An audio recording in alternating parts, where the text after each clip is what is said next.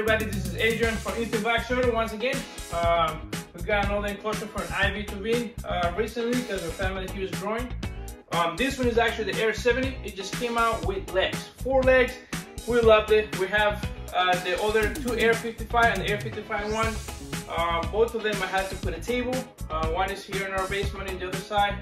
Um, and I had to put a table to lift it up.